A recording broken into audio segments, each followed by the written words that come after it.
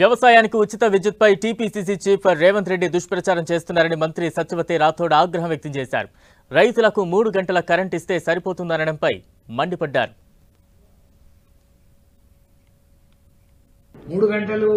current ఉంటే చాలు మిగతాది అమ్ముకుంటున్నారు అని మాట్లాడటం ఆయన అవివేకానికి నిదర్శనమని ఎంతసేపు బీఆర్ఎస్ పార్టీని విమర్శించడం కేసీఆర్ గారు చేస్తున్న సంక్షేమాన్ని అభివృద్ధిని చూసి ఓర్వలేక